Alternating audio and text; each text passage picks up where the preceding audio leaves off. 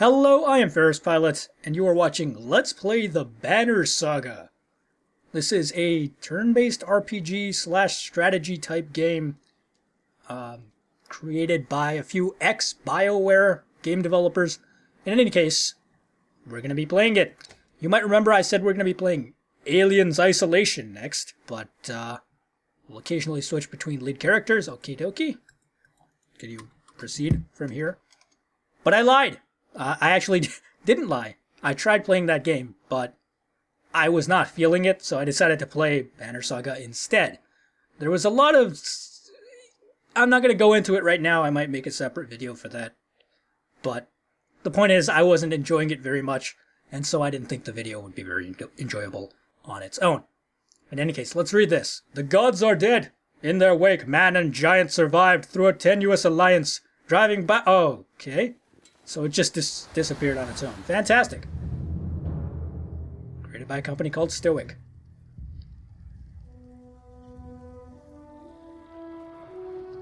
Gotta love that parallax scrolling effect. It has been several long months on the road. The first signs of snowfall accost us on our approach to Strand largest of the trade cities on the Val human Seriously, the visuals are really pretty. And our last collection before returning to the capital. Several days ago, the sun simply came to a stop in the sky. Though during these long winter days, none of us can be certain how long it has been this way. That's because if Some it's winter time, the, day lasts longer. As a dire omen. I am not quick to superstition, but I myself will be glad to be done with this year's rounds. Okay. So I guess this is our little uh, company of people. Travelers about brigands on the path through Richhorn, our road home. Our captain seems unconcerned Perhaps he is as eager as I to be done here. We will rest here this day and inquire further when we speak to the governor. Alrighty. Let's do it. I said, let's do it. Look at why are our people like so much bigger than the others? I guess we're playing as like these giants, right? These guys are supposed to be giants with like the big horns and stuff. Yeah.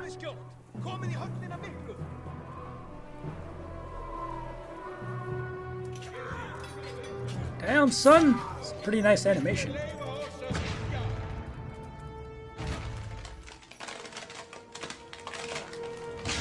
the Giants are here to kick some ass.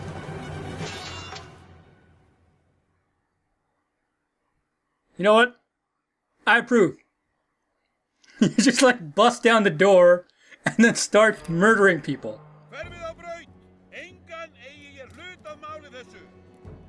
The hell are you talking about, dude?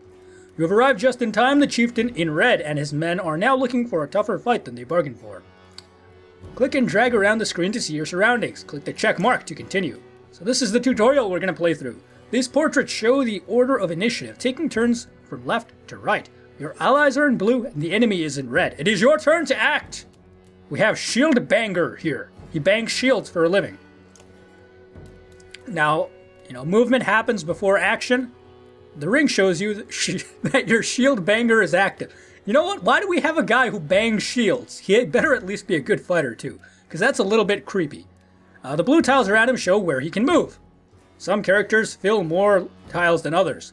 The horned allies are of a race of giants called Varl, who take up four tiles each. That's actually a pretty cool mechanic. Uh, while humans fill a single tile. This can have a huge impact on your strategy. Yes, it can. I, I was actually thinking about how a game might implement something like this. I did not know Banner Saga did so.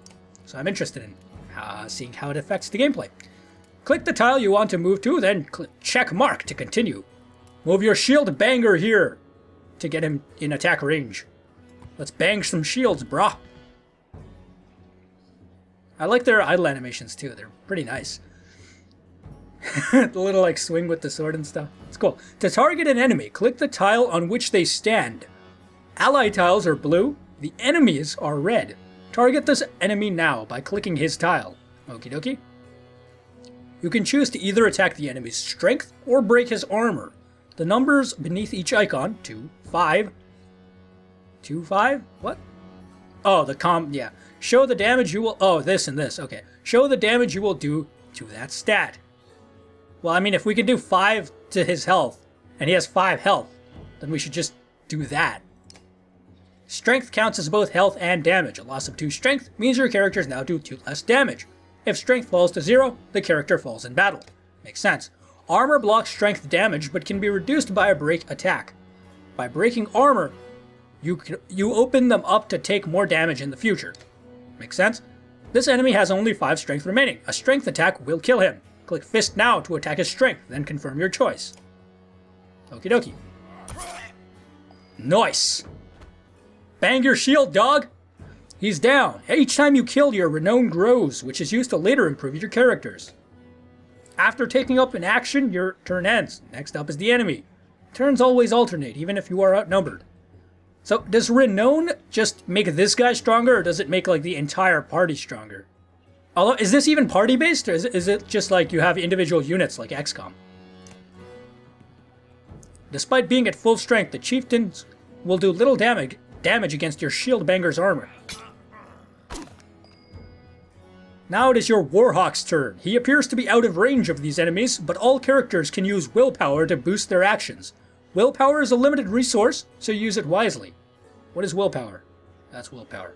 So you have 10 willpower, 8 willpower, sorry. By clicking on gold tiles, a character can move further than usual at the cost of 1 willpower per gold tile. Red pulsating tiles beneath your enemy show how close you'll have to get to be in range. Move your Warhawk into attack range now. so this will use two willpower, right? Because, yeah, I like how the gold arrow is there to show you that you're using willpower as opposed to just regular movement. I think that's pretty cool. And we click check mark. Oh, it also shows the two willpower when you actually click and are asked to confirm. That's a nice mechanic. Uh, I don't know if it's a mechanic, but it's nice. Oh, is that a polar bear in the corner that they have trapped? That's so sad. Aw. Anyway, standard attacks only affect a single enemy, but your Warhawk has a special ability that gives him a unique advantage. Click your Warhawk's tile to access his ability. Okay. Attack, Tempest, and turn. So, heavy impact. Enemies adjacent to target take 1 strength damage. Tempest, 1 normal strength damage to 2 adjacent enemies starting from target and going clockwise. Uh, that seems like a pretty sweet attack, dog. Oh, it's going clockwise, so I have to target this guy, right? Not this guy. A description of the ability will appear in the tooltips below. The Warhawk's Tempest allows him to slam multiple enemies at once. Select an enemy and then confirm your choice. So if it goes clockwise, it, you would have to select this guy, or does it like just attack all enemies in this entire pattern? If so, that's a really OP sounding attack. I'm gonna go ahead and attack this guy though. Sweet! That made quick work of the chieftain's bodyguards. When there is only one enemy left, players enter pillage mode. During pillage, each character moves in order, and there are no more guaranteed turns. What do you mean no more guaranteed turns? What's a guaranteed turn? Check the initiative to see how the order has changed. Your allies now get to move twice in a row. Oh, you mean like the enemy doesn't get guaranteed turns or something like that? If a character does not move on his turn, he can rest to regain one willpower. The chieftain will rest this turn. Looks like the chieftain is in some trouble. Your shield banger won't be able to finish the job with his normal attacks, but willpower can be used to boost your damage. Click the chieftain's tile to attack. Click the fist and the stars above the fist to add willpower. The number of stars available each turn are de determined by your exertion stat. That would be this thing right here. So we get one star. You'll see the damage go up as you add willpower. Click a star and then the green check mark to kill this enemy. So click this, click the star, and green check mark, and he's dead. Sweet. I like how this giant is just like sitting around and leaning against the pillar.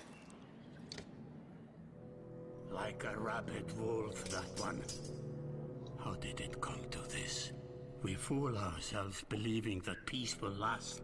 My grandfather built all this from a poor fishing village, you know. He No, I didn't. watched the gods die. Watched the chaos that followed. Watched man and Varl slaughter each other.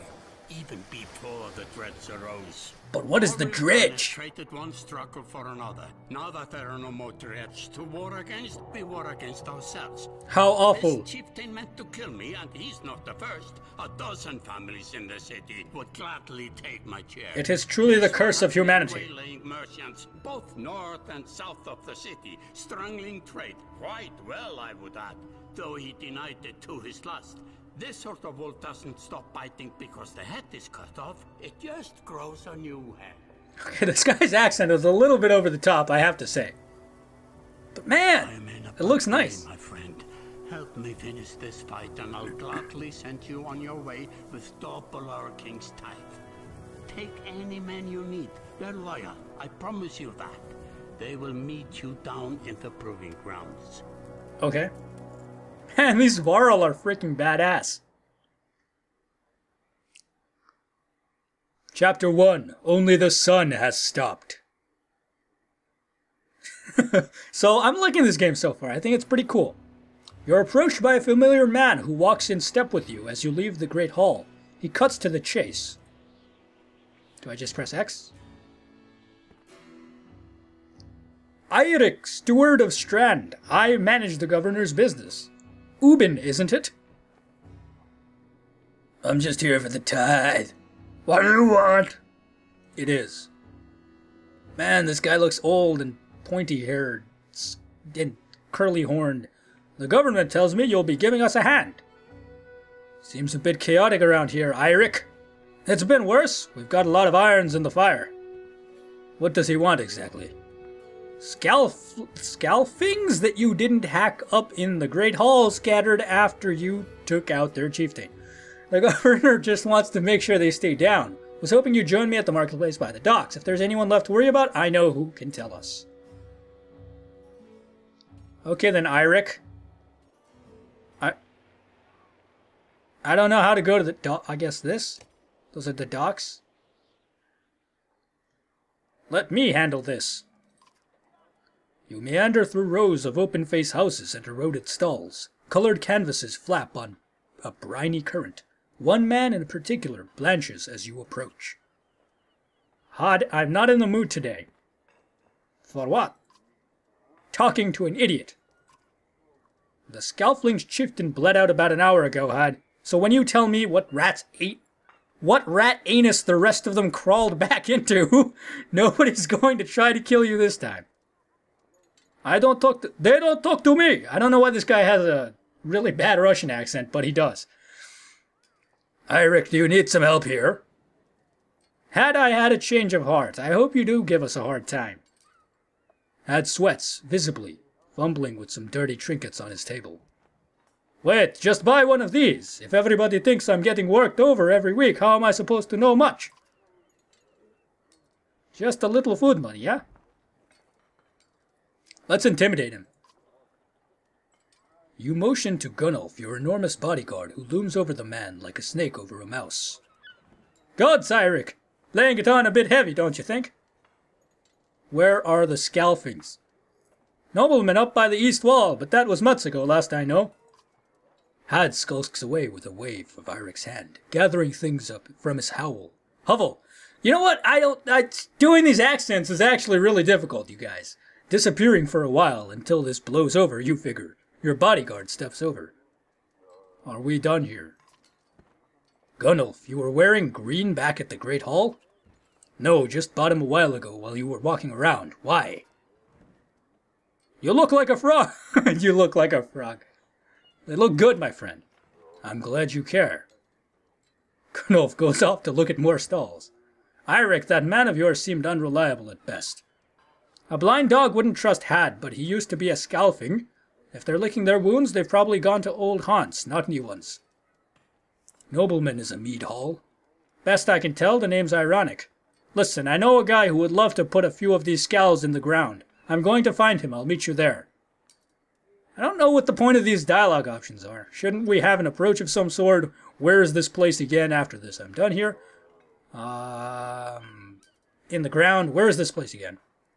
Nobleman is halfway up the hill towards the Great Hall. You won't miss it. Just make sure the governor remembers his promise, double the usual tithe. I'll remind him.